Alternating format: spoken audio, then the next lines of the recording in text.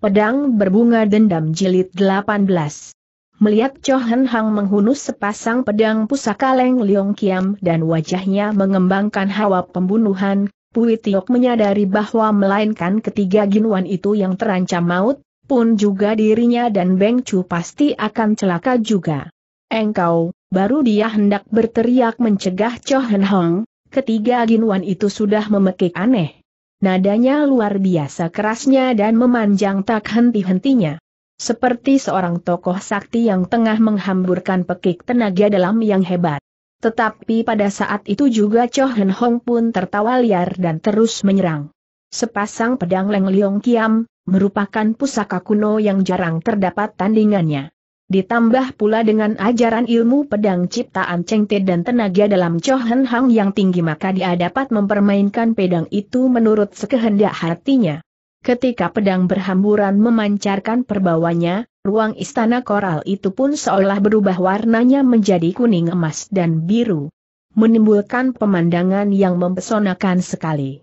Sebenarnya kepandaian Pui Tiok dan Beng Chi cukup tinggi.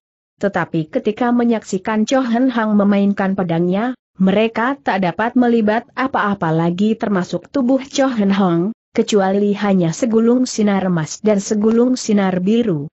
Hanya beberapa saat. Cho Hen Hang berulang kali melengking dan Ginuan memekik ngeri, bercampur dengan hancurnya beberapa barang dalam ruang itu. Lalu sepasang sinar itu tiba-tiba lenyap. Cho Hen Hang tegak di tempat semula dengan memegang sepasang pedang Leng Liong Kiam sedang dada ketiga Ginwan itu menghambur darah segar. Tetapi tubuh mereka masih tetap menelungkupi tubuh Beng Chu. Dari dada mereka mengalir deras darah sehingga lantai istana yang terbuat daripada batu koral itu berubah merah warnanya sekujur tubuh Beng Chu mandi darah dan nona itu menggeletak di lantai tak berkutik lagi. Dari keadaan itu memang sukar untuk menduga apakah Beng Chu masih hidup atau sudah mati. Juga tak dapat memeriksa apakah dia terluka dan kalau terluka, terluka di bagian mana. Dua buah kursi koral hancur menjadi beberapa keping telah menjadi sasaran dari amukan sepasang pedang Leng Liong Kiam yang mengganas tadi. Pada saat Pui Tiok sudah mendapat ketenangan kembali dan melihat apa yang terjadi dalam ruang itu, sudah tentu dia terkejut sekali sehingga mulut ternganga tetapi tak dapat mengucap sepatah kata pun juga. Demikian halnya dengan beberapa kojiu yang berada di situ. Tak seorang pun yang membuka suara. Bahkan Cho Hen Hang sendiri juga diam, kedua lengannya masih gemetar. Suasana dalam ruang istana itu seperti membeku. Tepat pada saat itu terdengar langkah kaki orang berjalan mendatangi.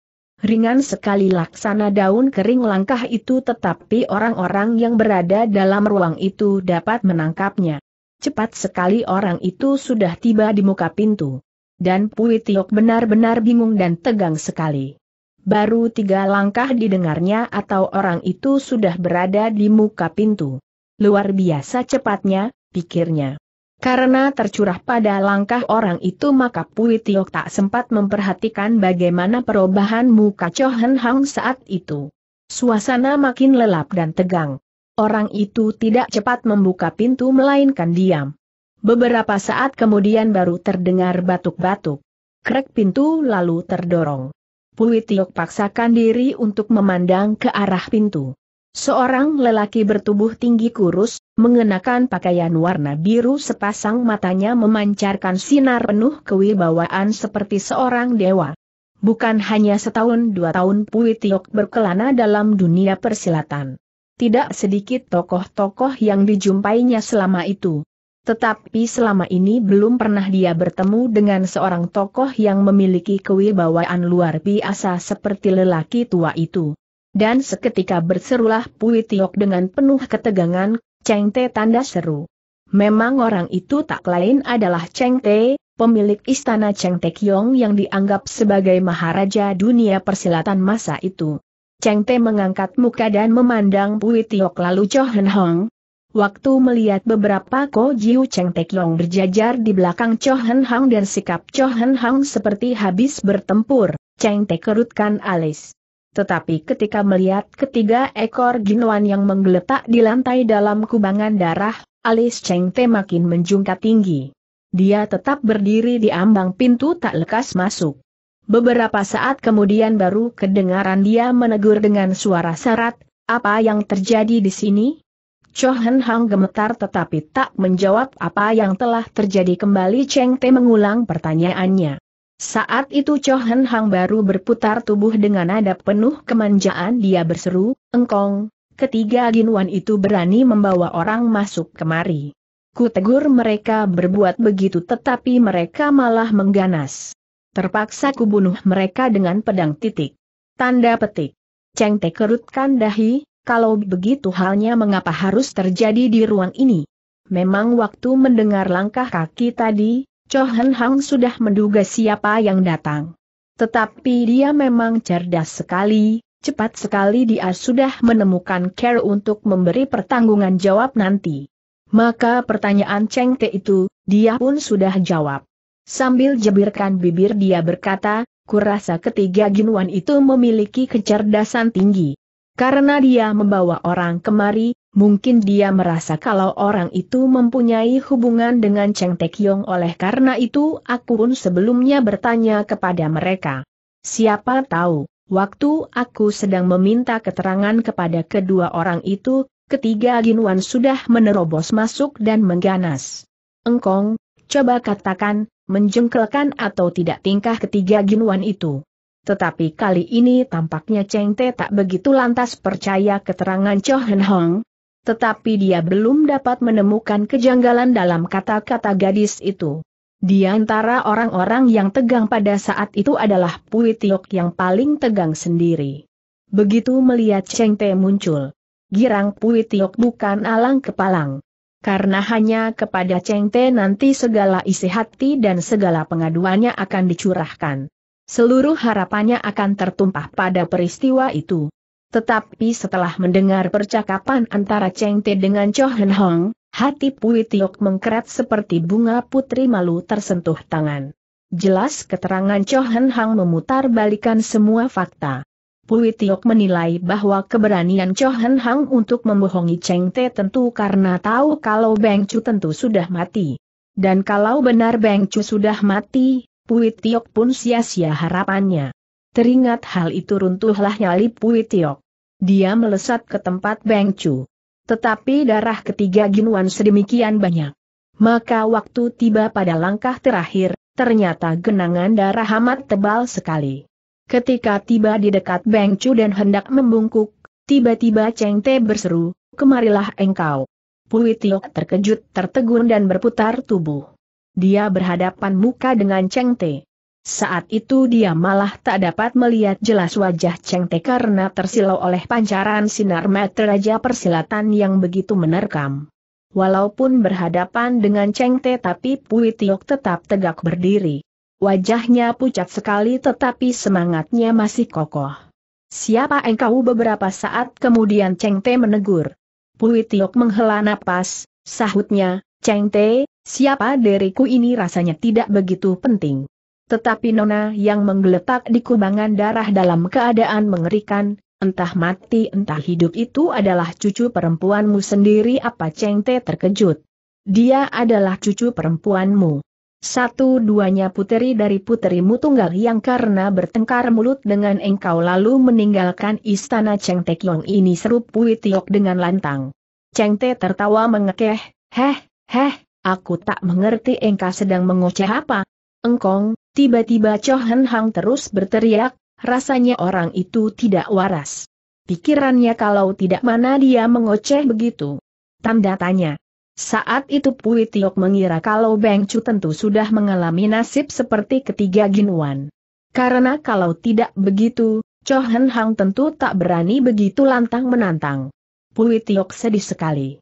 Tiba-tiba dia tertawa nyaring. Nadanya penuh kesedihan, penasaran dan kemarahan sehingga orang-orang yang berada di situ tergetar hatinya. Cheng Te, serunya kemudian, kalau engkau tak ingin ditipu orang selama-lamanya, Izinkanlah aku bicara. Sebelum Cheng Te menjawab, Cho Hen Hang sudah mendahului. Engkong jangan dicegah, biarkan dia bicara. Coba saja kita dengar dia hendak merangkai hayalan apa saja. Mendengar itu tegang sekali hati Pui Tiok. Dia tahu betapa licin Cho Hen Hang itu dan betapa pula ganasnya. Kini setelah dapat menghadap Cheng Te, dia masih belum mempunyai harapan apakah usahanya untuk menyadarkan Cheng Te itu bermanfaat atau tidak. Buktinya bagaimana keyakinan Cho Hen Hang itu ialah begitu Pui Tiok mengajukan permintaan untuk bicara, dengan cepat Cho Hen Hang sudah menanggapi, bukan saja tidak menghalangi bahkan minta kepada Cheng Te supaya membiarkan Pui Tiok melanjutkan ceritanya. Dengan demikian Cheng Te tentu mendapat kesan bahwa Cho Hen Hang memang tak tahu menahu tentang soal yang akan dikatakan Pui Tiok. Baik, bicaralah seru Cheng Te. Sejenak merenung maka Pui Tiok pun mulai bicara, setelah meninggalkan istana Cheng Te Kiong ini, puterimu bersembunyi di mana dan bagaimana keadaannya, tak ada seorang pun yang tahu. Tetapi yang jelas kemudian dia menikah dengan Kuan Pek Hang dan melahirkan seorang anak perempuan yang diberi nama Kuan Beng Chu. Menergar sampai di situ, Cheng Te lalu memandang Cho Hen Hang dan dengan sikap manja Cho Hen Hong pun lalu mendekat rapat kepadanya Cheng Te mengelus-elus kepala gadis itu. Melihat demonstrasi itu, bercekatlah hati Pui, Tiok. Dia hampir putus asa, apakah mampu mempengaruhi Cheng Te nanti. Tetapi dia tetap teguhkan hati dan melanjutkan kata-katanya, tetapi Kuan Pek Hang itu juga mempunyai hubungan gelap dengan seorang gadis biau, orang Shichoh. Hubungan gelap ini tak diketahui Kuan Hujin. Juga dengan wanita biau Shichoh itu, Kuan Pek Hang mempunyai seorang putri. Karena sudah lama keluar maka Kuan Pek Hang lalu meninggalkan wanita itu dan pulang kembali kepada Kuan Hujin. Wanita Biao Sicoh itu marah karena dihianati Kuan Pek Hang. Dia memberi Sicoh kepada anak perempuannya dan namanya diberi Hen Hang yang berarti membenci kepada Pek Hang. Wajah Cheng Te tetap tenang. Kemudian Puji melanjutkan. Dia menceritakan bagaimana wanita Biao Sicoh itu telah mencuri kitab isukeng milik perkumpulan Pahwa Kau dan melarikan diri ke daerah Biao. Tetapi dunia persilatan tersiar desas-desus bahwa kitab pusaka itu telah jatuh ke tangan Kuan Pek Hang. Ayah Pui Tiok yakni Pahui Lokorai memerintahkan Pui Tiok untuk menculik Kuan Beng Chu agar Pek Hang menebus putrinya itu dengan kitab pusaka Isukeng. Dalam usaha untuk melakukan penculikan itulah Pui Tiok mengetahui bahwa Kuan Hujin itu sebenarnya putri dari Cheng Te. Demikian dia dengan urut dan terurai Pui Tiok panjang lebar bercerita tentang keluarga Kuan Pek Hang. Hampir sejam lamanya Pui Tiok bercerita terakhir dengan mengempos semangat dan menguatkan hati, tiba-tiba Pui Tiok menuding Cho Hen Hang. Dialah Cho Hen Hang itu, dia bukan cucu perempuan musrunya dengan lantang tandas. Mendengar itu serempak jago-jago istana Cheng Tekiong berbangkit dan siap tetapi mereka tak berani bicara maupun bertindak sebelum mendapat perintah dari Cheng Te. Hening beberapa saat. Adalah Cho Hen Hang yang mulai buka suara, engkong, bacaralah mengapa engkau diam saja? Tetapi Cheng Te tetap diam wajahnya gelap, sukar diduga apa yang sedang dipikirkan. Dia berdiri tegak seperti patung. Walaupun menang angin, tetapi karena berbuat salah maka mau tak mau Chohan Hang gelisah juga, namun dah menyadari, bahwa situasi itu memang benar-benar gawat sekali. Maka dia pun menahan diri untuk tidak mengunjukkan rasa kaget dan cemas. Memang pintar benar Chohan Hang menjalankan perannya. Dia tersenyur simpul saja mendengar semua itu walaupun dirinya tersangkut dan dituding langsung oleh Pui Tiok. Mendengar teguran Chohan Hang, Cheng Te tampak terhenyak kemudian dengan pelahan dia berkata, apakah gadis itu sudah engkau bunuh? Cho Hen Hang memandang ke arah mayat ketiga Ginwan dan Beng Chu yang berada dalam kubangan darah. Diam-diam dia bersyukur dalam hati. Kalau dia tak lekas-lekas turun tangan melenyapkan mereka, tentulah urusan akan menjadi runyam. Menilik Beng Chu tak berkutik dalam genangan darah sampai beberapa waktu, tentulah gadis itu sudah mati. Diam-diam Cho Hen Hang menghela napas longgar. Sambil cibirkan bibir, dia menjawab, siapa yang tahu dia sudah mati atau belum. Ketiga binatang itu ganas sekali menyerang aku. Dulu aku pernah menderita dari mereka maka ku gunakan sepasang pedang Leng Liong Kiam dan ku gunakan tiga jurus ajaran engkong. Begitu habis kesudahannya adalah begitu. Cheng Te mendesuh dan tertegun. Beberapa saat kemudian baru dia berkata, oh, kiranya begitu. Tetapi dia belum mati. Mendengar itu Pui Tiok dan Cho Hen Hang terbeliak kaget. Kalau Pui Tiok diluap kegembira adalah Cho Hen Hang kaget setengah mati. Dia memandang Beng Chu dan tiba menghela napas dalam dua, serunya, Engkong, apa dia belum mati seperti yang engkau katakan? Apakah dia belum mati teriak Pui Tiok serempak. Saat itu dia berada di samping Beng Chu. Karena ditegur Cheng Te maka dia tak melanjutkan. Maksudnya hendak memeriksa tubuh Beng Chu. Kini setelah mendengar keterangan Cheng Te, dia terus membungkuk dan mengangkat tubuh Beng Chu dan berteriak memanggilnya, Beng Chu, Beng Chu. Tetapi tubuh Beng Chu tampak lemas, kepala lunglai seperti orang tak punya napas lagi. Pui Tiok mengangkat muka memandang Cheng Te. Dia menderita kejut besar sehingga pingsan kata Cheng Te yang tahu arti pandang mata Pui Tiok, tekanlah ubun-ubun kepalanya lalu jalan darah PHW Ehyat. Dia tentu Sioman. Pui Tiok melakukan perintah, kemudian Cheng Te berputar tubuh menghadap ke arah Cho Hen Hong. Cho Hen Hong menyadari bahwa kalau saat itu dia tidak lekas-lekas mendahului berkata, situasi tentu makin buruk. Maka dia paksakan tertawa, serunya, syukur kalau dia tak apa-apa agar dia dapat memberi keterangan yang jelas titik tetapi kurasa kedua orang itu tentu sudah saling sepakat lebih dulu. Engkong, Bukankah begitu? Tetapi Cheng Te hanya bergumam, tidak mengiyakan juga tidak menolak. Dia seperti berkata seorang diri, di bawah serangan tiga jurus pedang Leng Liong Kiam, kalau dia tidak mati bahkan sedikit pun tidak terluka, tentu karena hanya ada satu kemungkinan. Diam-diam Cho Hen Hang memang heran mengapa di bawah serangan ilmu pedang yang maha sakti itu, Beng Chu tidak mati melainkan hanya pingsan saja. Engkong, kemungkinan bagaimanakah itu tanya penuh keinginan tahu. Cheng Te terdiam sejenak baru menjawab, kecuali ketiga Ginwan itu memang mati-matian melindunginya. Gerakan Ginwan itu luar biasa cepatnya. Mereka tentu gunakan tubuhnya untuk menyongsong ketiga jurus serangan pedang. Tepat pada saat itu tampak Beng Chu membuka mata. Begitu melihat Pui Tiok dia terus memeluk erat dua. Pui Toako, Aku masih hidup atau sudah mati serunya terengah-engah. Nadanya sendu bagaikan orang yang mati hidup dari kematian kembali. Hampir Pui Tiok tak dapat menahan tangisnya. Air matanya bercucuran dan berkata, engkau tak kurang suatu apa, Beng Chu. Engkau tak apa-apa.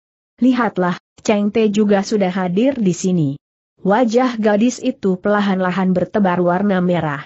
Dengan bergeliatan dia berbangkit dan memandang kian kemari sampai akhirnya bertatap pandang kepada Cheng Te. Cheng Te juga memandangnya tak berkedip. Beberapa saat kemudian adalah Beng Chu yang buka suara lebih dulu, engkau, engkau, ini. Titik apakah engkongku? Cho Hen Hang tegang sekali hatinya. Kalau saat itu dia memaki Beng Chu, tentu akan ketahuan belangnya. Tetapi kalau dia diam, Apakah bukan berarti dia mengakui apa yang diucapkan Beng Chu itu benar?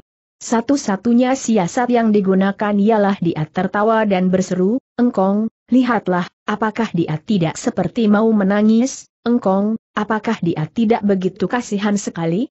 Apakah tidak lebih baik kita suruh dia tinggal di istana ini saja? Sejenak memandang Beng Chu, Cheng Te lalu beralih memandang Cho Hen Hong, Cho Hen Hang tahu bahwa kalau saat itu dia tak mengunjuk aksi tentu akan menimbulkan kecurigaan Cheng Te. Maka dia terus melengking, Engkok, aku bicara padamu, mengapa engkau diam saja? Hektometer, apa engkau percaya saja pada omongannya dan terus hendak mengusir aku engkau memang menyangsikan aku, sudah lama ku tahu. Habis berkata dia terus berputar tubuh dan hendak melangkah keluar. Beng Chu, cepat Cheng Te berseru. Mendengar itu Cho Hen Hang dan Beng Chu serempak menyahut, ya. Cheng Te tertegun dan terpaksa berkata, jangan pergi dulu. Biar kutanya lebih lanjut kepada nona ini. Mendengar Cheng Te menyebut Beng Chu dengan kata nona ini, agak legalah hati Cho Hen Hong. Dia berhenti tetapi wajahnya masih menampakkan sikap tak senang. Cheng Te lalu bertanya kepada Beng Chu, engkau bilang kalau anak dari putriku. Kalau begitu, mamamu tentu pernah bercerita banyak tentang keadaan istana Cheng Te Kiong, bukan? Setelah siuman dan melihat Cheng Te begitu angker, Beng Chu memang jari. Sebenarnya dia begitu berambisi sekali untuk merebut kedudukan sebagai cucu dari Cheng Te. Tapi dalam keadaan seperti saat itu, dia terpaksa tak mau menyerah kalah lagi.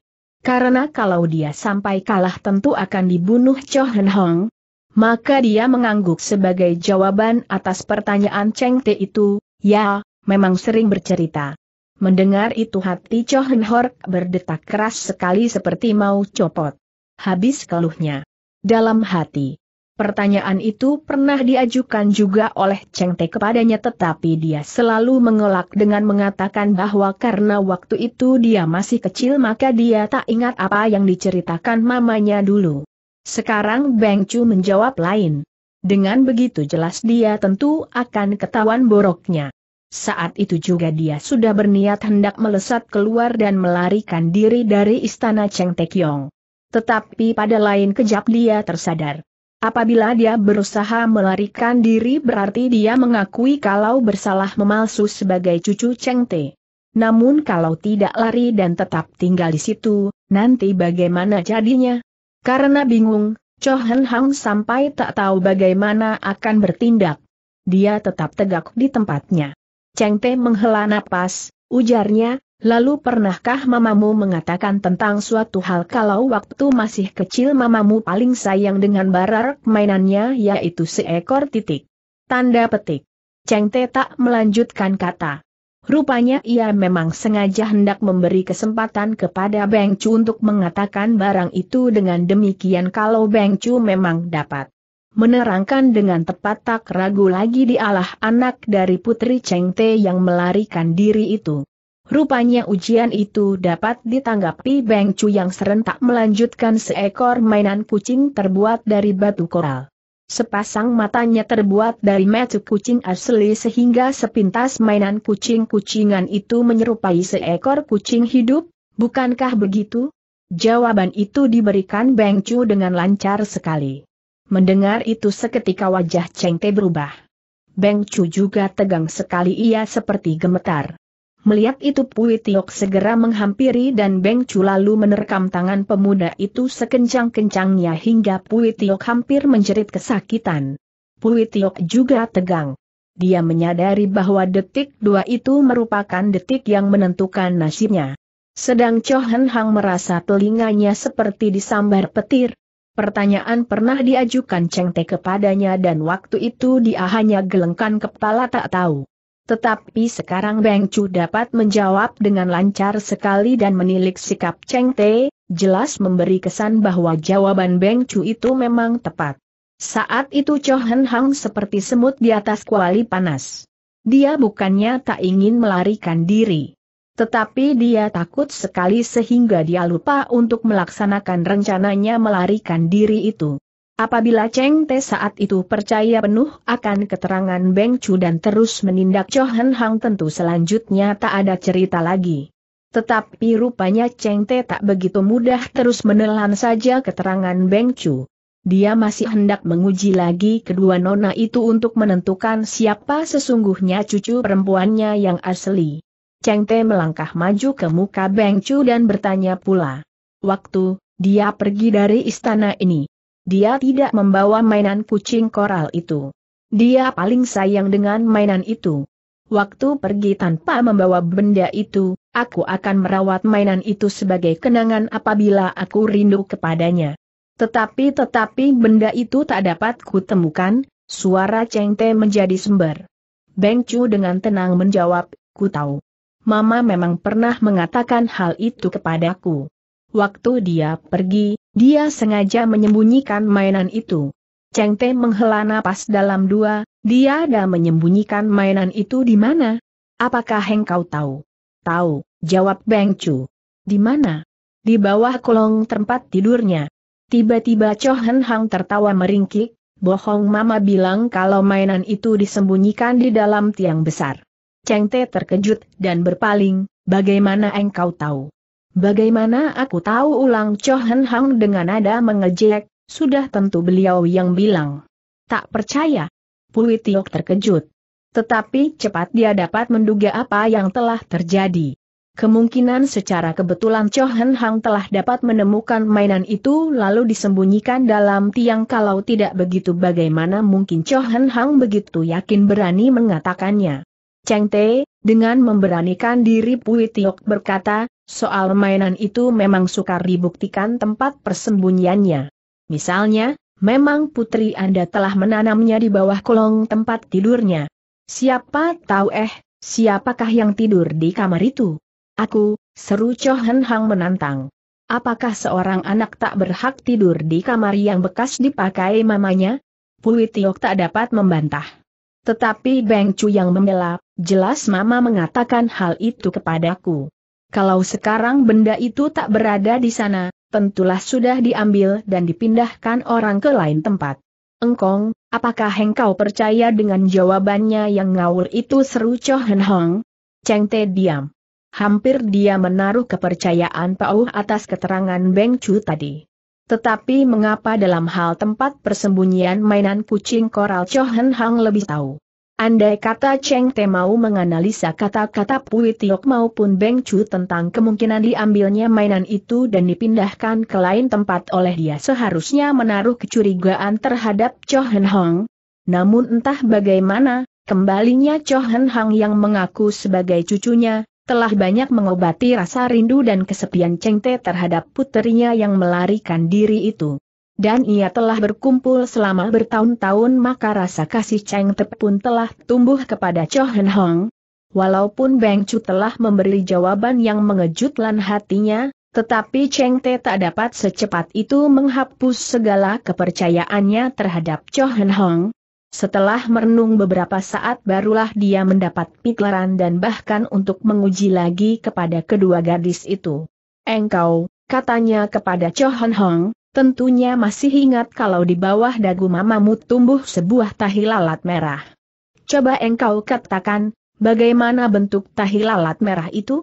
Entah, sahut Cho Han Hong dengan ewah, aku kan yang palsu, sudah tentu tak dapat mengatakan. Perlu apa engkau tanya kepadaku? Cheng Lei perlahan-lahan beralih memandang Beng Chu.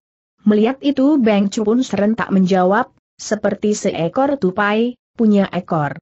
Waktu kecil, Mama sering mengangkat muka dan menakuti aku tupai kecil datang, tupai kecil akan loncat menggigitmu kalau engkau tidak lekas tidur.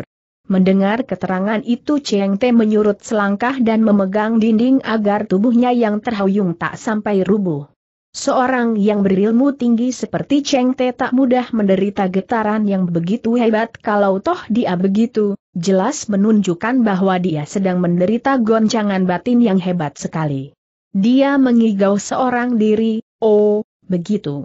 Dia mengatakan begitu. Dia sering bilang, yah, kalau engkau tak mau menurut aku, akan ku suruh tupai kecil loncat menggigitmu. Pui Tiok menghela napas, Ciampua, sekarang segala apa telah jelas. Dan aku masih hendak memberitahu kepadamu. Chohan Hang berhati buas. Dia membawa racun yang paling ganas. Maksudnya akan meracuni engkau. Karena hanya setelah engkau meninggal barulah dia dapat bersih Maharaja Lela tak ada yang ditakuti lagi kalau, sampai sekarang belum melaksanakan adalah karena belum mendapat kesempatan. Mendengar itu Cheng Te gelap wajahnya. Sekali bergerak dia menyambar lengan Cho Hen Hang dan ditarik ke dekatnya. Tetapi saat itu Cho Hen Hang sudah siap. Maka ia tenang-tenang saja. Pikirnya, asal dapat melalui saat-saat yang berbahaya kali itu, dia tentu dapat mengatasi segalanya. Setelah mempunyai keputusan itu maka sikapnya tenang-tenang dan berani menatap muka Cheng Te. Engkau, Aku tak percaya kalau engkau akan meracuni aku kata Cheng Te dengan pelahan. Mendengar itu diam-diam Cho Hen Hang sudah memperhitungkan bahwa kedudukannya di istana Cheng Te Kiong sekarang sudah cukup kuat. Bukankah Cheng Te mengatakan kalau tak percaya? Dia, Cho Hen Hong, akan meracuninya? Dengan begitu menandakan kalau Cheng Te tidak seluruhnya percaya pada omongan Pui Tiok. Cho Hen Hong miringkan kepala, berkata, engkau percaya boleh, tidak pun boleh. Toh aku sudah tak ada hubungan apa-apa dengan engkau. Sekarang sekalipun menggunakan tambah beberapa orang lagi untuk menahanku, aku pun tak mungkin dapat ditahan. Hektometer, tak kira kalau seorang yang tak berguna begitu, dapat memiliki ilmu kepandaian yang sakti. Wajah Cheng Te berubah, engkau mengatakan siapa? Engkau, kata Cho Hen Hang dengan berani, setelah mendengar omongan orang lantas hendak membuang cucu perempuannya sendiri. Orang semacam itu apa gunanya? Kalau Cho Hen Hang mengunjuk rasa takut, mungkin Cheng Te akan bertindak lain. Tetapi setelah dia mengeluarkan kata-kata yang keras, entah bagaimana Cheng Te malah lulus hatinya. Apakah aku mengatakan kalau tidak menghendaki engkau katanya? Kalau begitu perlu apa engkau membiarkan kedua orang itu berada di sini seru Cho Hen Hang dengan nyaring. Cheng Te lepaskan cekalannya dan Cho Hen Hang pun mundur selangkah. Cheng Te tegak termangu. Menilik dahinya mengerut, dia tentu tengah memikirkan sesuatu. Pui Tiok, Beng Chu dan Cho Han Hang masing-masing tegang sekali hatinya. Karena mereka menyadari bahwa nasib mereka tergantung hasil pemikiran Cheng Te itu. Hampir setengah jam lamanya Cheng Te tegak memandang tiang ruangan. Bagi ketiga anak muda itu, setengah jam dirasakan seperti satu hari lamanya. Beberapa waktu kemudian baru tampak Cheng Te mengangkat muka dan memandang Pui Tiok dan Beng Chu. Kalian berdua, katanya pelahan-lahan, tentu mendengar sedikit tentang mamanya dari orang entah siapa dan di mana. Oleh karena itu kalian datang kemari untuk mencari keuntungan.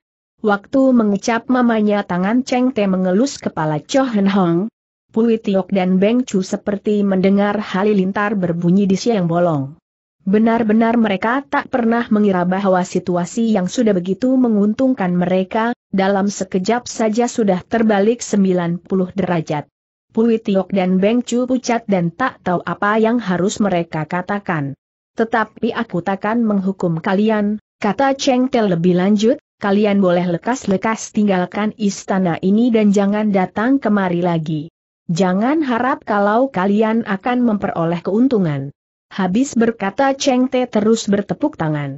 Dua orang lelaki setengah tua segera muncul, memberi hormat. Cheng Te menuding pada Pui Tiok dan Beng Chu, katanya, antarkan kedua orang ini keluar dari Cheng Te Kiong. Kedua lelaki itu mengiyakan. Begitu mengulurkan tangan Pui Tiok dan Beng Chu merasa segulung tenaga kuat melanda mereka sehingga keduanya terdorong mundur sampai tujuh sampai delapan langkah. Cheng Te, engkau, belum tempat Pui Tiok menyelesaikan kata-katanya, gelombang tenaga kuat yang kedua melanda lagi sehingga kedua anak muda itu hampir tak dapat bernapas. Sudah tentu Pui Tiok tak dapat bicara apa-apa lagi. Kedua anak buah Cheng Te itu hebat sekali kepandaiannya.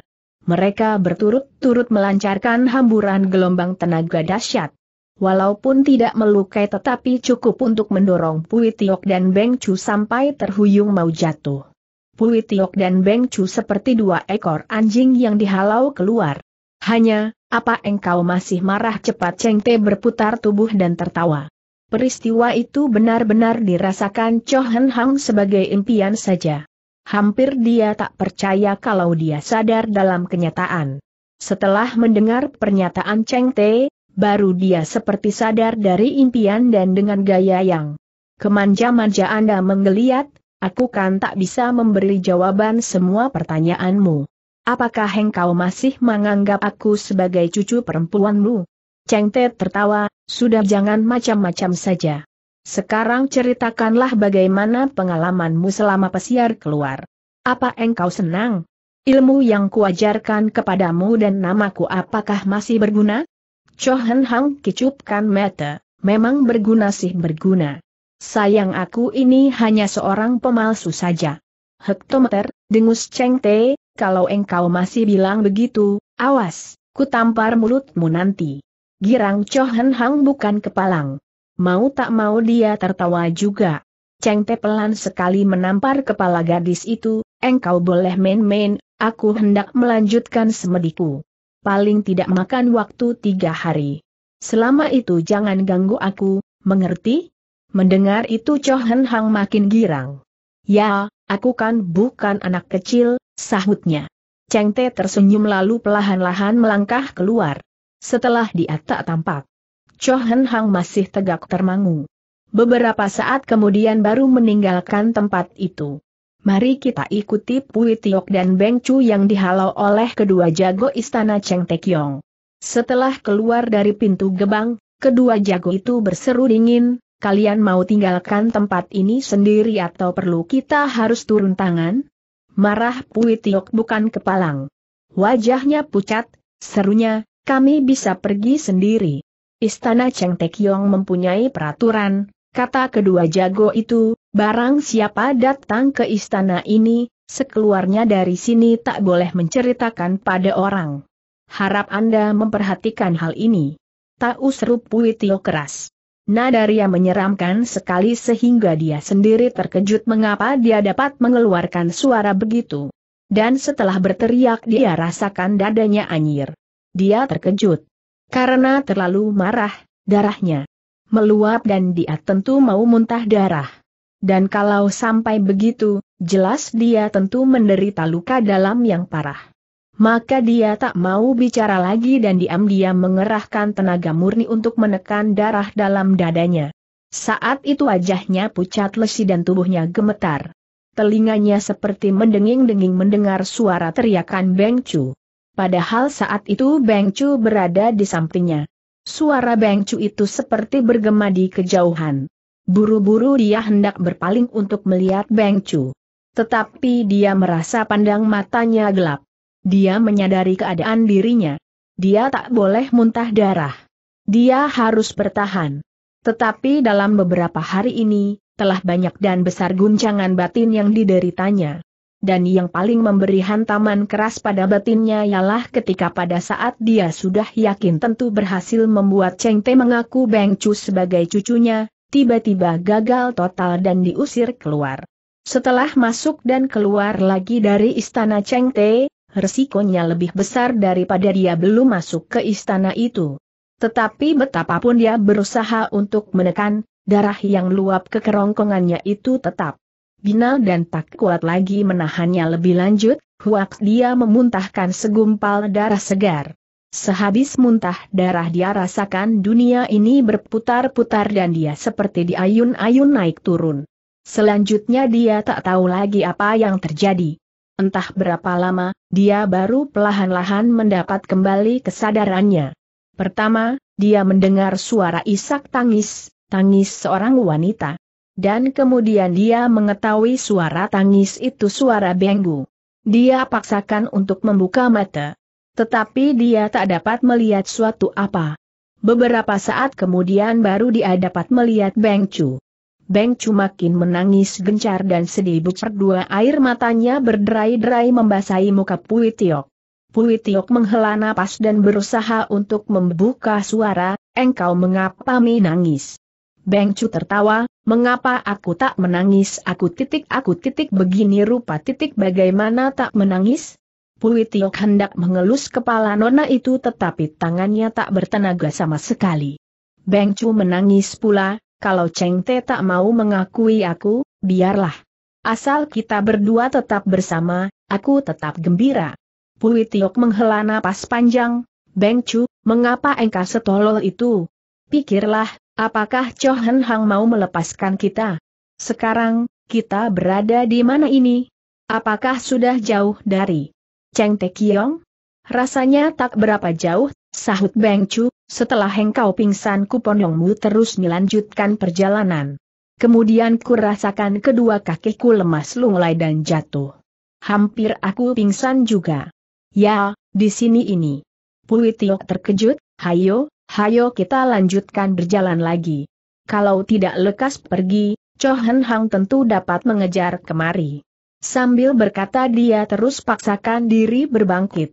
Tetapi bukan saja dia tak mampu berdiri, bahkan begitu bergerak dia terus muntah darah lagi.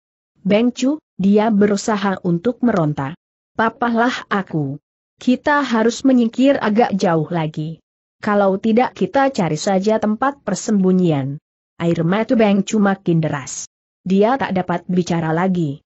Dia melakukan perintah Pui Tiok, dipanggulnya tubuh pemuda itu dan terus lari. Tetapi setengah li kemudian napasnya sudah terengah-engah, Pui aku aku aku tak dapat berlari lagi. Dia paksakan diri lari, beberapa meter untuk mencari sandaran pada sebatang pohon. Beng Chu, engkau memiliki kepandaian yang tinggi, K.A. Puitiok, jangan gugup, jangan takut. Aku hanya menderita luka dalam. Nanti setelah beristirahat beberapa hari tentu sembuh. Kita baru berusaha untuk menyelamatkan diri. Setelah beristirahat beberapa hari, aku tentu sembuh lagi. Beng Chu, jangan cemas.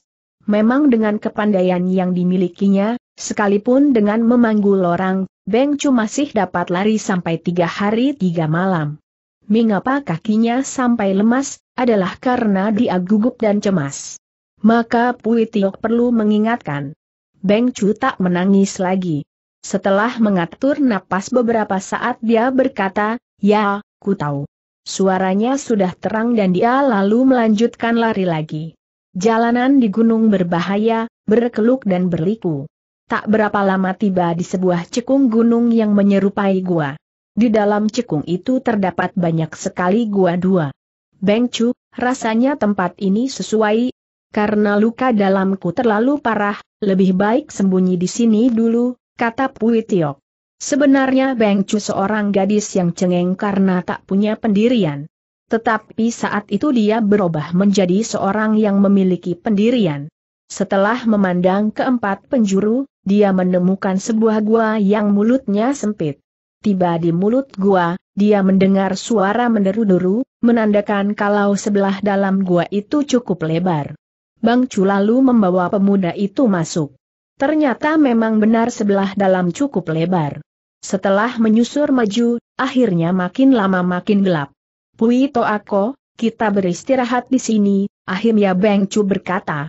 Kemudian dia menyalakan korek. Dia terkejut sekali ketika melihat sekeliling dinding gua itu bergemerlapan. Benar-benar sebuah tempat yang indah sekali. Sungguh indah, Beng Chu berseru memuji. Ya, bolehlah, kata Pui Tiok, tetapi waktu yang kubutuhkan untuk beristirahat paling tidak tiga bulan. Beng Chu kaget dan gugup. Dia ingin menangis tetapi khawatir akan membuat Pui Tiok sedih, maka dia tahankan air mata. Pui Toako, katanya, taruh kata dalam tiga bulan ini lukamu sembuh, tetapi selama itu kita tentu. Kemarilah Beng Chu, engkau kemari sini, kata Pui Tiok. Beng Chu menghampiri ke dekat Pui Tiok. Keduanya saling berjabat tangan erat dua. Beng Chu, kata Pui Tiok, Selama tiga bulan ini hanya menggantungkan engkau seorang untuk cari makanan. Tetapi hati-hatilah, Chohan Hang tentu masih mencari kita. Ah, aku sungguh tak berguna. Beng Chu cepat mendekat mulut Seng kekasih, sudahlah jangan berkata lagi. Aku rela menderita susah payah. Kita baru saja tinggalkan istana Cheng Tekiong, tak mungkin Chohan Hang begitu cepat akan mencari kita. Lebih baik aku keluar untuk cari makanan untuk persediaan di dua tiga hari ini. Baik sih baik, tetapi engkau harus hati-hati. Lekas pulang jangan menyiksa pikiranku, kata Pui Tiok. Beng Chu lalu meninggalkan gua itu. Kini Pui Tiok seorang diri. Dia hendak bangun dan duduk untuk mengambil pernapasan tetapi dadanya masih terasa anyir mau muntah darah. Dia lalu berusaha untuk menjalankan pernapasan. Memang luka dalam yang dideritanya cukup parah. Sekujur tubuhnya seperti ditusuki jarum. Tetapi setelah dua tiga kali melakukan peredaran darah, rasa sakit itu mulai berkurang. Dadanya juga mulai longgar. Entah berjalan berapa lama. Setelah kesadaran pikirannya mulai terang, tiba-tiba Pui Tiok teringat akan Beng Chu. Ya, Nona itu sudah lama pergi mengapa belum kembali lagi. Karena gelisah, napasnya terengah-engah lagi dan darah mulai keras. Ah, celaka. Dia menyadari kalau tak boleh terlalu gelisah agar luka dalamnya jangan sampai kambuh lagi. Tetapi bagaimanapun dia tak dapat melepaskan pikirannya kepada Beng Chu, dia paksakan diri untuk berdiri. Waktu berjalan beberapa langkah, dia terhuyung-huyung. Dia memegang dinding tembok dan pelahan-lahan melangkah ke pintu. Tetapi sampai di pintu tetap dia tak melihat Beng Chu dan ketika melihat hari sudah hampir petang dia terkejut dan hampir rubuh. Dengan begitu sudah hampir sehari Beng Chu pergi. Mengapa tak kunjung pulang? Beluk, akhirnya Pui Tiok lemas dan jatuh di mulut gua. Saat itu dia tak dapat berdiri lagi. Dia terpaksa menggeletak tak berdafa apa-apa. Ketika beberapa saat lagi mengangkat muka, ternyata hari sudah gelap. Ketika dia memandang ke muka, tampak dari kejauhan tiga titik sinar obor tengah berjalan mendatangi. Dalam pikirannya yang setengah sadar itu dia kira kalau yang datang itu adalah ketiga ekor ginuan. Tetapi pada lain saat dia teringat kalau ketiga binatang itu sudah mati. Puitiok mengempos semangat dan terus menggelinding diri keluar. Tetapi karena tenaganya masih lemas, dia tak dapat menggelinding jauh, melainkan hanya sampai ke dalam gerumbul rumput saja. Dia terkejut dan berusaha hendak bangun tetapi tak mampu lagi, dan ketiga titik sinar itu makin lama makin dekat bahkan dia sudah mendengar suara langkah mereka. Dia buru-buru mendekam tak berani bergerak. Karena kalau dia bergerak tentu akan ketahuan. Tak berapa lama dia melihat tiga lelaki, masing-masing membawa obor muncul. Puitiok segera mendapat kesan kalau ketiga orang itu tentu tokoh persilatan. Cekung gunung ini pelik sekali, kemungkinan sepasang muda-mudi itu tentu berada di dalamnya, salah seorang berkata. Kawannya mengiyakan dan mengajak untuk menyelidiki. Diam-diam Pui Tiok teryukur. Kalau tadi ia tidak nekat menggelinding keluar, tentulah akan tertangkap. Menilik pembicaraan mereka, rupanya mereka belum menemukan Beng Chu. Diam-diam Pui Tiok longgar perasaannya. Tak berapa lama ketiga orang itu keluar. Tanpa berkata apa-apa, mereka terus lari. Beberapa tombak jauhnya, baru salah seorang berkata, kalau di sini tak ada, kedua muda-mudi itu tentu lari ke sana. Ya, tampaknya memang begitu, sahut kawannya, tetapi apakah sudah pasti? Yang pasti, lebih baik kita melapor saja kalau tak dapat menemukan. Cujin, majikan, pernah bilang lempang tempat itu tetapi tak boleh dikatakan kepada Kong Chu.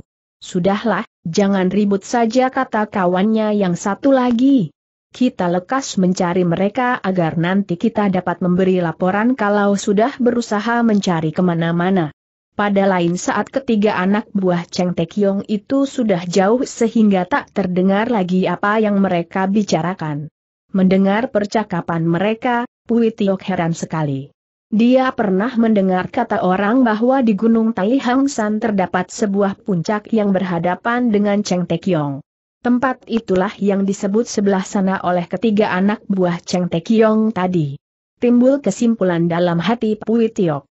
Apabila dia dan Beng Chu dapat mencapai di sana tentulah anak buah Cheng Tekiong tak dapat berbuat apa-apa terhadap dirinya. Tetapi apakah sesungguhnya tempat yang disebut di sana itu?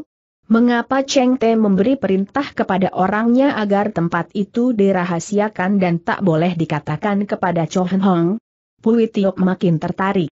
Hal itu benar-benar sukar dimengerti dan selama ini tak pernah dia mendengar tokoh persilatan menceritakan tentang hal itu. Saat itu Pui Tiok bimbang. Bahkan dia menyangsikan apakah luka dalam yang dideritanya itu benar-benar parah. Apakah pembicaraan yang didengarnya itu hanya suatu lamunan belaka? Tetapi kalau lamunan mengapa begitu jelas? Juga dia dapat menarik kesimpulan bahwa tidak kembalinya Beng Chu itu bukan karena ditangkap anak buah Cheng Tekiong. Bukan mustahil kalau Beng Chu telah menuju ke tempat di sana itu. Namun Pui Tiok tidak berhenti sampai di situ saja.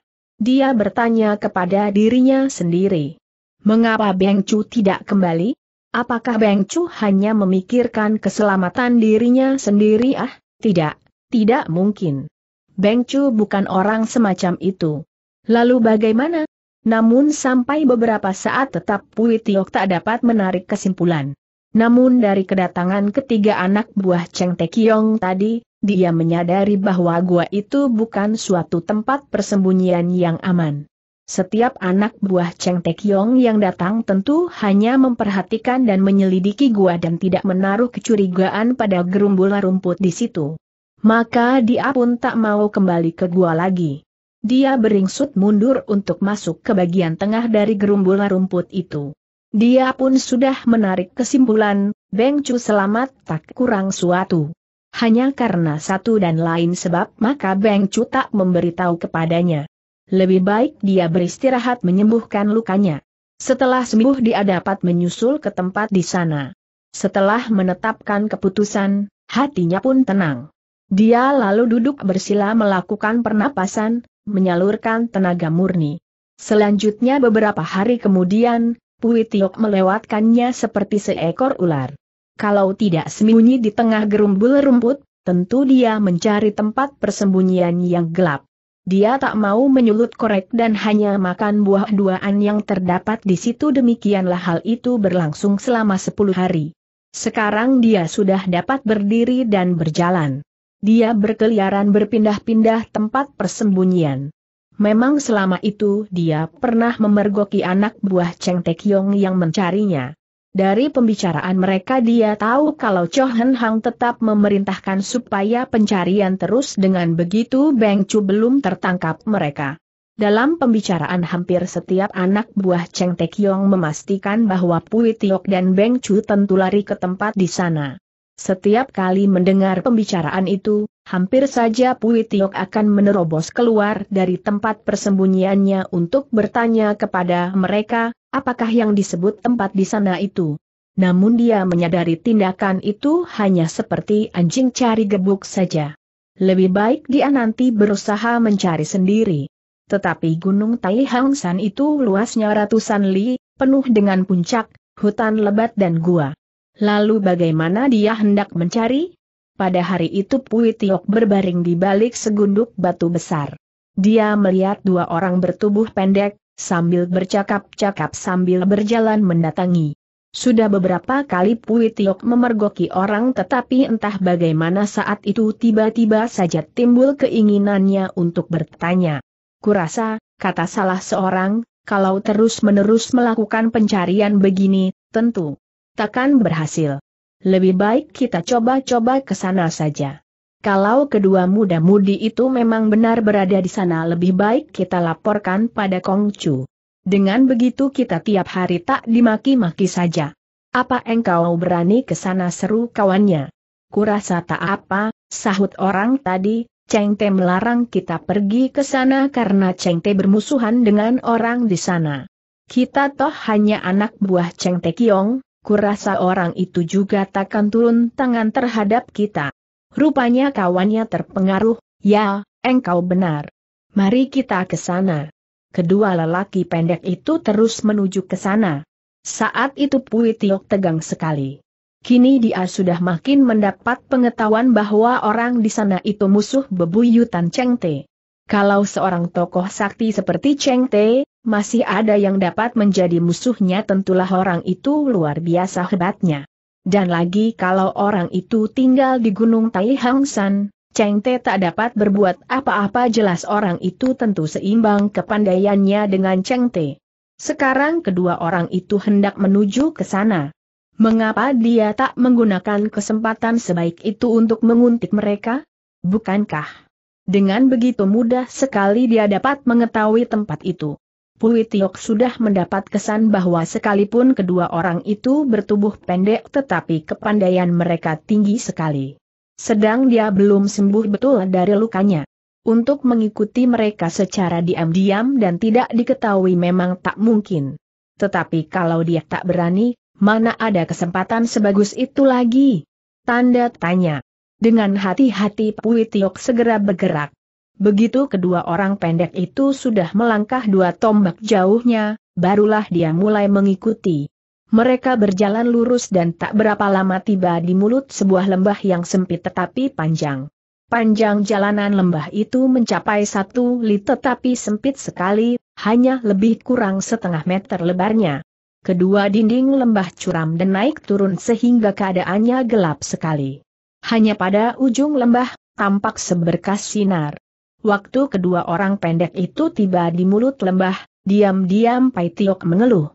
Kalau harus menyusur lembah sempit dan panjang itu baru dapat mencapai tempat di sana terang sukar baginya untuk mengikuti. Pui Tiok bersembunyi di balik sebatang pohon sambil mengepalkan kedua tangannya. Pada saat kedua orang pendek itu hendak memasuki mulut lembah, salah seorang tiba-tiba berseru, lihatlah. Tanda seru. Kawannya juga terbeliak, demikian Pui Tiok. Menurut arah yang ditunjuk orang pendek tadi, pada batu karang di sebelah kiri, tergantung sebuah kimpei, lencana emas, yang berkilau-kilauan cahayanya. Pui Tiok hanya melihat begitu menyaksikan Kim Pei, kedua orang pendek itu lerus mundur ke belakang tiga langkah. Wajahnya kaget sekali. Lekas lari, setelah keluar dari mulut lembah kedua orang pendek serempak berseru. Dan mereka berputar tubuh terus lari. Dalam beberapa kejap saja sudah tak tampak bayangannya. Pui Tiok heran. Mengapa mereka lari? Apakah Kim Pei itu mempunyai pengaruh besar sehingga kedua jago sakti dari Cheng Tekiong terbirit-birit melarikan diri? Sampai beberapa waktu Pui Tiok tak melihat kedua orang pendek itu muncul kembali. Pui Tiok itu menghampiri ke mulut gua dan memandang ke muka. Dilihatnya pada Kim Pei itu terdapat empat huruf. Setelah berada di mulut lembah, dia dapat membaca jelas keempat huruf itu berbunyi barang siapa berani gegabah masuk tentu mati.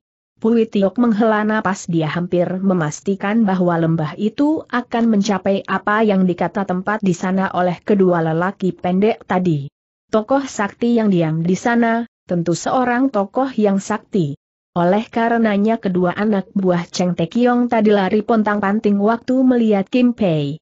Keempat tulisan pada kimpe itu jelas memberi peringatan supaya orang jangan sembarangan masuk. Kalau nekat pasti akan mati. Setelah beberapa saat menimbang akhirnya Pui Tiok tiba pada suatu keputusan. Kalau mati toh sama saja tentu mati di tangan Cho Hen Hang dan lagi Beng Chu kemungkinan tentu sudah berada di sana. Kalau dia nekat masuk asal dapat bertemu Beng Chu, sekalipun hanya satu kali, tetapi dia sudah merasa bahagia sekali. Dia lalu ayunkan langkah. Baru melangkah masuk, dia menggigil setiup angin dingin yang seram melandanya. Dia makin menggigil.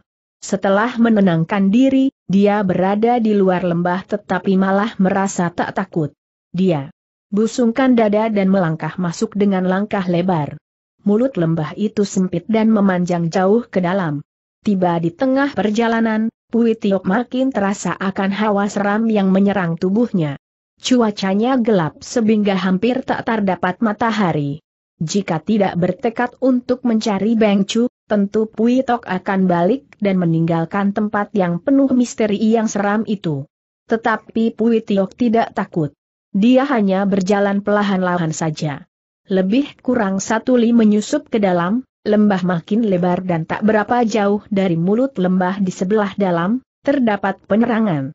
Makin dekat makin dapat melihat keadaan di luar mulut lembah itu. Ternyata setelah selesai menyusur habis lembah sempit itu, terdapat sebuah lembah yang lebih besar. Separuh dari lembah itu merupakan sebuah telaga yang airnya jernih kebiru-biruan. Airnya tenang sekali, tiada gelombang sama sekali sehingga sepintas menyerupai sebuah danau zamrud yang indah tak terperikan. Sekeluar dari lembah sempit itu, barulah Pui Tiok dapat melihat jelas seluruh lembah besar. Kecuali danau indah itu, lain duanya merupakan karang curam dan batu dua kerucut yang aneh. Rupanya, selain dari lembah sempit tadi tak ada lain jalan keluar dan masuk ke lembah besar itu. Suasana dalam lembah itu sunyi senyap tak kelihatan seorang manusia pun juga. Juga tak ada sebuah pondok atau rumah. Pula setelah menghampiri maju ke tengah lembah, tetap keadaan sunyi sekali sehingga suara kakinya sendiri yang terdengar. Memandang ke telaga, dilihatnya seekor ikan melenting ke permukaan air, menimbulkan gemercik kecil. Pui Tiok tak tahan. Sunyi senyap merupakan siksa juga. Dia memungut sebutir kerikil lalu dilontarkan ke permukaan telaga, pelung. Suaranya menimbulkan gema yang berkumandang memenuhi lembah. apakah di sini tak ada orang setelah gema lontaran batu itu sirap, baru Puitiok berseru. Dia hanya berseru beberapa patah tetapi lembah itu segera tercekam gema suara yang gemuruh komandangnya, jika di lembah itu memang dihuni orang, orang itu tentu akan mendengarnya. Puitiok mengulangi lagi seruannya. Tetapi baru, dia hendak membuka mulut, tiba-tiba di depan terdengar sebuah suara kering kerontang menegurnya, sudah tentu ada orangnya. Engkau kan tidak buta, bukan? Puitiok terbeliak. Dari mana orang itu? Bukankah lembah itu sunyi dan kosong melompong? Ketika mengangkat muka dan memandang ke muka dia makin kaget lagi. Karena di sebelah muka tak ada orang. Yang ada hanya berpuluh ribu batu dua yang aneh bentuknya. Puitiok menduga orang itu tentu berada di belakang deretan gunduk batu aneh itu. Dia tertawa pahit, aku kemari untuk mencari seseorang. Harapan jangan salah faham, serunya. Siapa yang engkau cari kembali suara itu melengking. Sesaat suara itu menyusup ke telinga Puitiok, dia menggigil dan sepasang kakinya terasa lunglai hampir tak kuat berdiri. Yang membuat hati Puitiok tergetar keras, bukan karena kata-kata orang itu atau nadanya yang mendenging di telinga. Melainkan dia tahu jelas bahwa suara itu bukan berasal dari belakang batu aneh, tetapi dari segunduk batu aneh yang tak aneh di sebelah depan. Bahwa batu aneh dapat mengeluarkan suara, itulah yang membuatnya terkejut sekali. Setelah menenangkan perasaannya dan memperhatikan dengan seksama barulah dia tahu bahwa gunduk batu aneh yang di sebelah muka itu bukan batu tetapi seorang manusia. Orang itu duduk bersila di tanah. Bajunya berwarna kelabu mirip dengan warna batu. Seri wajah dan rambutnya juga kelabu seperti warna batu. Dia duduk seperti patung. Oleh karena itu kalau tak bersuara tentu dikira sebuah, sebuah batu di antara gunduk dua batu di situ. Puitiok menghela napas longgar, serunya, apakah Anda ini, pemilik lembah ini? Aku bertanya kepadamu hendak mencari siapa orang itu balas bertanya. Puitiok tertegun. Menilik nadanya yang begitu dingin, tentulah orang itu berhati dingin dan tak suka didekati orang. Tetapi baru dia berpikir begitu, tiba-tiba dia menertawakan dirinya sendiri. Bukankah dia sudah membekal tekad berani mati waktu hendak mencari lembah itu? Mengapa dia harus kicup nyalinya hanya karena mendengar nada orang yang begitu dingin saja? Aku hendak mencari seorang Nona Sikwan, sahutnya. Wajah orang itu membeku seperti batu dan berkata dengan dingin, apa hubunganmu dengan Nona Kwan? Puitiok terkesiap, sahutnya, dia adalah istriku. Mendengar itu tetap saja orang itu membatu suaranya, istrimu. Kalau begitu engkau ini baru saja melarikan diri dari Cheng Tekiong? Girang Puitiok bukan kepalang, benar. Aku memang baru saja melarikan diri dari sana. Dia menduga mengapa orang itu tahu kalau dia baru saja lolos dari Cheng Tekiong, tentulah Beng Chu yang memberitahu. Dengan begitu dia makin yakin Beng Chu tentu berada di lembah situ. Tetapi kegirangan Pui Tiok itu telah dilanda dengan suara dingin sekali dari orang itu. Selama Cheng Tekiong tak ada hubungan dengan Sikoh, lembah maut. Apakah sekarang Cheng Te hendak melanggar perjanjian serunya? Kembali Pui Tiok tertegun. Dia tak tahu bagaimana harus menjawab. Dia tak tahu apa yang dimaksud orang itu kecuali keterangannya bahwa lembah Iiu disebut lembah maut. Tetapi sebagai seorang yang cerdik, Puitiok dapat menduga bahwa pemilik lembah maut itu bermusuhan dengan Cheng Tekyong. Suatu hal yang menambah kegembiraannya. Harapan jangan salah faham, katanya, meskipun aku baru lolos dari Cheng Tekyong tetapi aku bukan anak buah Cheng Tekyong aku diusir oleh Cheng Tekiong. Biji metu orang itu berkeliaran sejenak lalu tertawa dingin, aku paling benci kepada orang yang tak mau bicara terus tetang. Apakah omonganmu itu sungguh-sungguh? Atau hendak menipu? Aku mengatakan secara jujur, bukan omong kosong, sahut Puitiok. Orang itu tertawa mengekeh, kuanggap engkau itu bernyali besar tiba-tiba dia mengangkat tangannya. Waktu lengan bajunya terangkat ke atas, Segulung angin yang dingin sekali melanda Pui Tiok sehingga pemuda itu menggigil dan tubuhnya lantas mengerut. Orang itu menurunkan lengan bajunya ke bahu Pui Tiok. Seketika Pui Tiok rasakan bahunya seperti dibenam sumber air yang dingin seperti es karena dinginnya gigi Pui Tiok sampai bergemerutukan. Apakah engkau tidak bohong kembali orang itu bertanya. Sambil berkutetan untuk menahan kedinginan, Pui Tiok menyahut, setiap patah, kata-kataku memang sesungguhnya. Orang itu tertawa aneh, Nona Kuan yang hendak engkau cari itu adalah cucu perempuan dari Cheng Te. Dan engkau mengaku sebagai suaminya tetapi engkau berani mati mengatakan kalau tak ada hubungan dengan Cheng Te Kiong. Mendengar itu Pui Tiok terkejut gembira. Dia gembira karena jelas Beng Chu masih selamat dan berada di lembah itu. Tetapi dia terkejut karena pertanyaan orang itu memang tajam dan sukar dibantah. Memang dia dapat saja menceritakan semua pengalaman yang dideritanya di Cheng Tekiong. Tetapi hal itu tentu memakan waktu lama. Dia sangsi apakah dia masih mampu bercerita sampai selesai dalam keadaan seperti saat itu. Namun dia berusaha untuk mengerahkan tenaga dan menjawab, harap jangan menekan bahuku dulu biar aku bercerita. Rupanya orang batu itu dapat mengerti. Dia mengangkat lengan bajunya yang terletak di bahu Pui Tiok. Pemuda itu dapat bernapas longgar dan berdiri tegak. Mana Nona Kwan? Apakah dia belum menceriakan tentang pengalamannya? Tanyanya. Orang itu kelap-kelipkan biji matanya yang bagian putihnya lebih besar dari bagian hitam. Dia banyak mengatakan sepatah kata kalau dia itu cucu perempuan Cheng Te. Setelah itu dia tak dapat berkata-kata lagi, katanya. Mendengar itu kembali Pui Tiok gemetar keras karena terkejut, apa artinya dia tak dapat melanjutkan kata-katanya itu? Apa artinya, kata orang batu itu, tak lain supaya engkaulah yang bercerita semuanya. Apakah dia telah engkau bunuh teriak Pui Tiok dengan keras. Namun orang batu itu hanya picingkan mata dan menyuruh, sudah, Jangan bicara yang tak berberguna. Mendengar itu timbullah sepercik harapan dalam hati Pui Tiok. Tetapi pada lain saat dia membantah dugaannya dan seketika bangkitlah kemarahannya. Dengan menjerit histeris dia terus menyerbu dan lepaskan empat buah hantaman. Sebenarnya lukanya masih belum sembuh betul. Hantamannya itu menggunakan tenaga yang dipaksakan, duk, duk, duk, duk, hantaman mengenai tubuh orang itu tetapi Pui Tiok sendiri terhuyung hampir jatuh. Orang aneh itu menunduk memeriksa bajunya lalu tertawa kering, bagus, bagus. Hayo hantam lagi empat kali.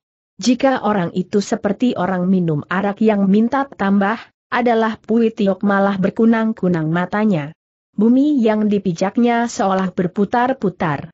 Engkau titik engkau koma dia tak dapat melanjutkan teriaknya karena terus rubuh dan mau muntah darah lagi. Dia sadar kalau sampai muntah darah lagi tentu lukanya akan kambuh oleh karena itu maka dia berusaha untuk menekannya. Wajahnya berubah coklat kemudian pucat lalu ungu. Tiga kali perubahan warna muka itu menandakan kalau urat-urat nadinya mulai putus dan matilah dia pasti. Hektometer, makhluk tak berguna, damprat orang aneh itu.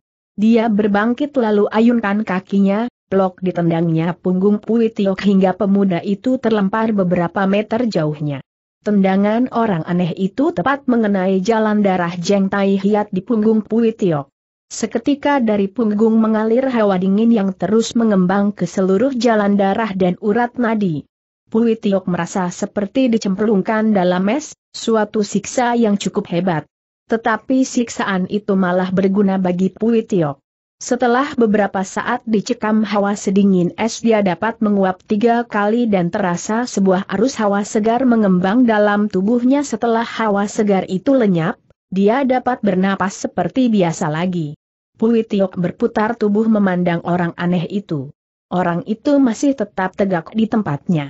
Terima kasih atas pertolongan Anda. Tetapi, tetapi mengapa engkau mencelakai Nona Kuan katanya? Engkau melihat setan barangkali, orang itu tertegun. Bukankah tadi engkau bilang, Setelah bicara beberapa patah kata, Nona Kuan terus tak dapat bicara lagi seru Pui. Orang aneh itu mendesuh tawa, baru saja dia mengatakan kalau cucu perempuan Cheng Te, segera ku tamparnya pingsan lalu ku saluri tenaga dalam untuk menembus jalan darahnya. Agar dalam tujuh hari, tenaga dalamnya dapat bertambah berlipat ganda. Siapa bilang kalau aku mencelakainya? Puitiok terkejut gembira, katanya kiranya apakah engkau bukan Kohcu, pemilik lembah, sendiri? Wajah beku seperti batu dari orang itu tiba-tiba merekah tawa gembira, apakah aku ini layak? Sebagai Kohcu? Menurut engkau, apakah aku ini seperti Kohcu? Puitiok terkesiap, Bermula dia tak tahu apa maksud orang aneh itu. Tetapi otaknya yang cerdas segera mengerti perasaan orang. Setiap manusia tentu senang dipuji. Maka apa salahnya dia menyanjung puji saja agar orang aneh itu senang. Sudah tentu layak sekali, serunya, kesaktian Anda tak di bawah Cheng Te. Mendengar dirinya dipuji, orang aneh itu tertawa senang. Tetapi engkau keliru, katanya, aku bukan Kohcu. Uh, engkau ini memang boleh juga. Biarlah aku yang menanggung supaya engkau tinggal di sini beberapa hari, setelah itu baru nanti berunding lagi. Apakah engkau-engkau tidak mau membawaku kepada Nona Kuhan dan Kohcu? Tentu saja akan kubawamu. Tetapi tidak sekarang, nanti tiga empat hari lagi. Mengapa harus begitu lama? Orang aneh itu deliki mata. Perlu apa engkau banyak tanya? Toh engkau sudah dapat tinggal. Di sini? Kalau lapar, dalam telaga itu terdapat jenis ikan yang disebut ciok tau hai ikan berkepala batu. Sedapnya bukan buatan, lihatlah. Sekali melesat orang itu sudah tiba di tepi telaga. Sekali dia tusukkan jari, air munkrat ke atas. Munkratan air itu berisi dua tiga ekor ikan yang masih bergeleparan. Ikan itu ditangkapi dengan lengan baju. Setelah mundur beberapa langkah baru orang itu lepaskan lengan bajunya dan tiga ekor ikan sebesar kepal tangan berhamburan ke tanah. Puitiok heran melihat bentuk ikan itu. Seperti katak, jelek sekali. Oh, kiranya dalam telaga ini ada ikannya mengapa permukaan airnya begitu tenang serunya. Ikan itu bersifat diam tak suka bergerak. Sepanjang tahun mendekam saja seperti batu maka disebut Siok dan Hai. Diam-diam Pui Tiok geli. Bukankah orang aneh itu juga serupa dengan ikan batu yang diam saja seperti batu? Tetapi dia tak berani tertawa karena khawatir orang itu marah. Dia terus makan ikan itu. Ternyata memang enak sekali. Sejak hari itu sampai beberapa hari, Pui Tiok berada di samping orang itu untuk melakukan semedi menyalurkan pernapasan. Saat itu dia sudah tahu kalau Beng Chu berada dengan Koh Chu. Sekalipun belum pernah bertemu Koh Chu, tetapi kalau sekarang tokoh seperti Cheng Te saja jari kepadanya, tentulah Koh Chu bukan tokoh sembarangan. Hati Pui Tiok makin tenang dan latihan pernapasannya pun lancar. Ditambah orang aneh itu juga mau memberi saluran tenaga mumi ke tubuhnya maka banyak sekali Put Tiok memperoleh manfaat yang besar. Dalam 7 sampai 8 hari itu, luka dalamnya sudah hampir sembuh sama sekali. Seiring dengan sembuhnya luka, Pui Tiok makin keras keinginannya untuk segera bertemu dengan Beng Chu. Tetapi dia tak berani menanyakan kepada orang aneh itu. Diam-diam dia hanya memperhatikan keadaan dalam lembah itu dan coba-coba menduga ke mana dia harus mencari Beng Chu dan Koh Chu. Namun sampai beberapa hari belum juga dia berhasil menemukan apakah ada lain tempat yang dapat menjadi tempat Koh Chu menyembunyikan Beng Chu. Dua hari kemudian, Pui Tiok benar-benar tak dapat menaban keinginannya lagi, apakah Koh Chu Jin dan Beng Chu tidak tinggal dalam lembah ini? Tentu saja tinggal di lembah ini, sahut orang aneh itu dingin. Kalau benar tinggal di lembah ini, mengapa aku tak dapat melihat tempat persembunyian mereka? Perlu apa engkau hendak mencari mereka tegur orang aneh dengan wajah menggelap. Ah tak apa-apa, cepat Pui Tiok menyahut, hanya saja dengan di Anona sudah lama aku tak bertemu. Aku benar-benar terkenang dan ingin bertemu. Hektometer, dengus orang aneh itu, Waktu engkau datang, aku kan sudah bilang kalau Koh Chu sedang menggodok Nona Kuan. Ilmu kepandaian Nona Kuan akan dihapus lalu, diganti dengan ilmu kepandaian baru. Saat itu Koh Chu sedang sibuk sekali. Kalau tiba-tiba engkau muncul, bukankah berarti engkau hendak mencelakai mereka? Memang Pui Tiok pernah mendengar tentang ilmu menghapus tenaga lama diganti dengan tenaga baru. Tetapi berkat pengalamannya yang luas maka dia dapat menduga bahwa kelak setelah berhasil, Beng Chu tentu akan menjadi manusia baru. Koh Chu tentu akan menyalurkan seluruh tenaganya kepada Beng Chu. Pui Tiok tenang kembali.